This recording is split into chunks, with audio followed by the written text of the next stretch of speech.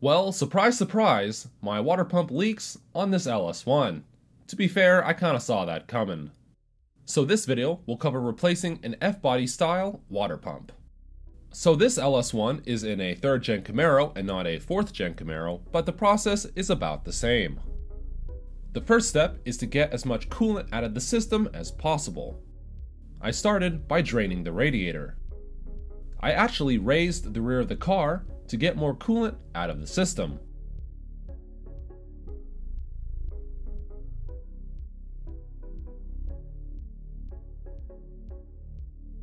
My cold air intake gets pulled off.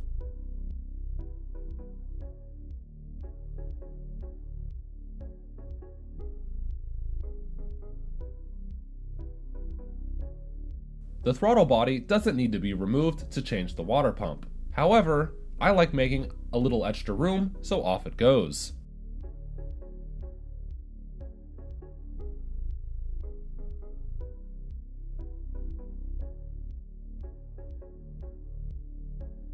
Some tape keeps anything from entering the intake. The steam port is removed. In my case, it's this stainless braided dash 4 line. My heater bypass hose is popped off, and there was a lot of coolant that flowed out, so keep a bucket handy.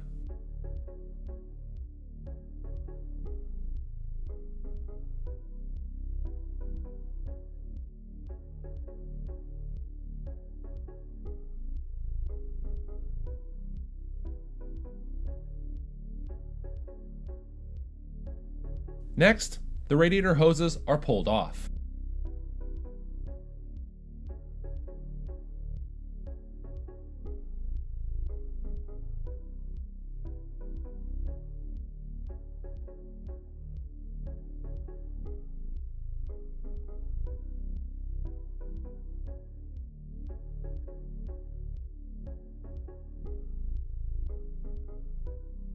The serpentine belt is removed, and this is also a good time to replace the belt if you have an old one.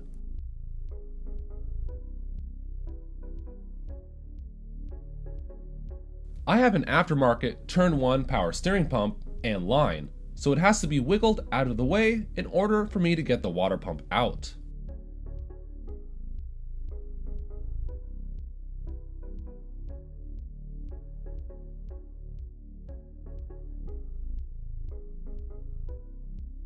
The six water pump bolts can be removed along with the pump.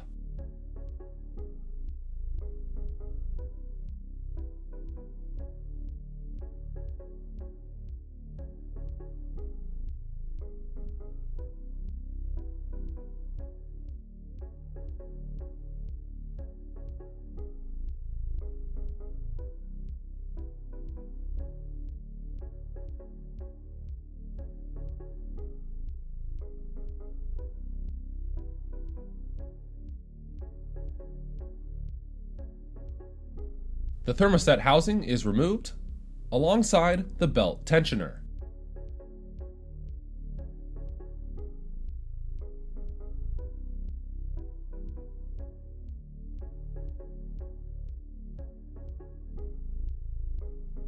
The new pump is looking nice and clean. So there are two versions of the thermostat housings, a single and a two-piece. I have the single piece that uses an O-ring seal.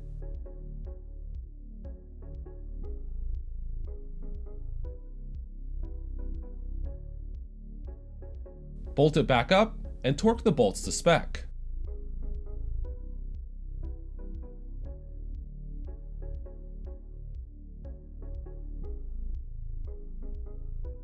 And then the tensioner goes on, and those bolts are also torqued.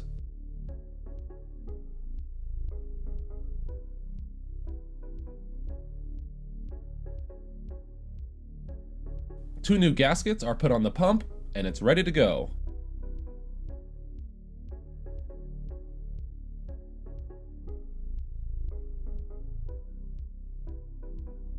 The pump can kind of be annoying to install because the gaskets always seem to want to fall off, so just have a little patience here.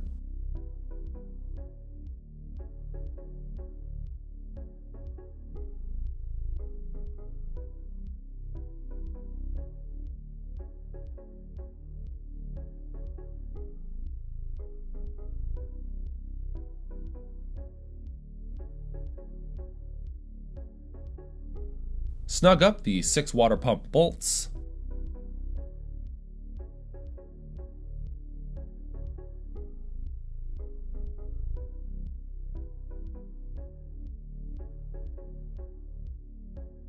The water pump bolts are torqued in two passes. The first pass is 11 pound-feet, followed by 22 pound-feet.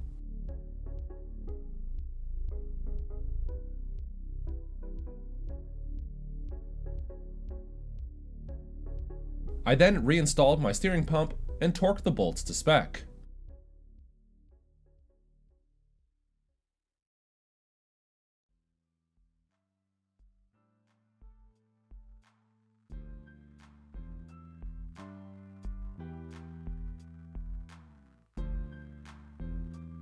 Some lube helps the hoses slip on nice and easy.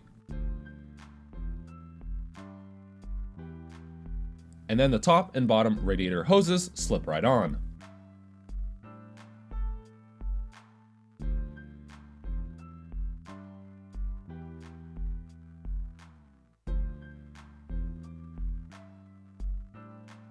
Tighten down the hose clamps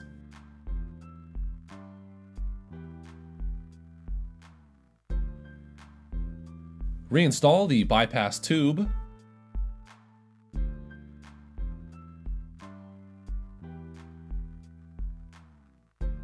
And then reroute the serpentine belt, making sure that the routing is correct.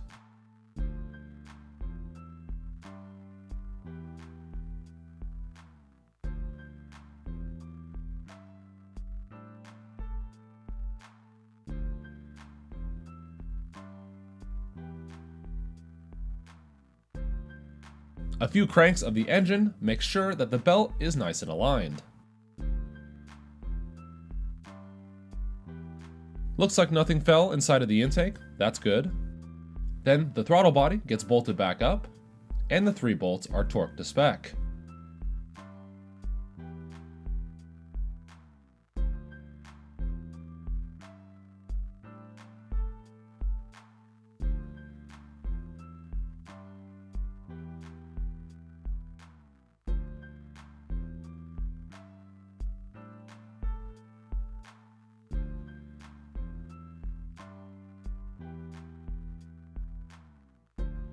The sensors are plugged back in.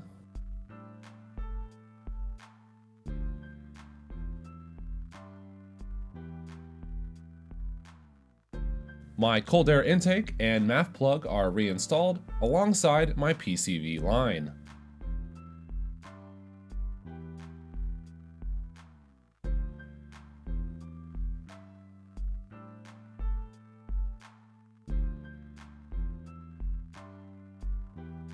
The steam port is tightened back down.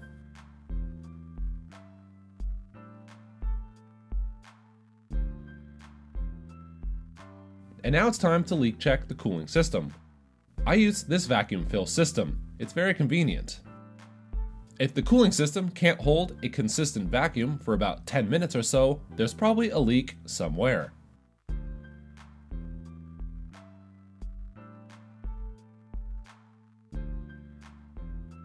No leaks for me, so I connected the fill fitting. The end of the fill fitting goes into a gallon of coolant.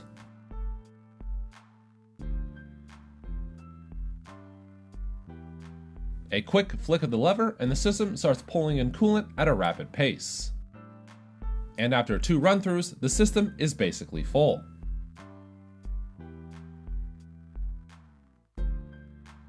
Remove the adapter and then pour the last little bit of Dexcool in.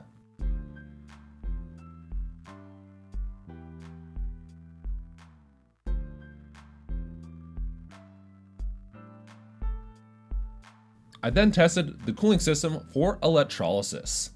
A reading below 0.3 volts is usually acceptable. Below 0.1 volts is more ideal. Put the cap back on, and that's it. I hope you stayed this long and enjoyed my video.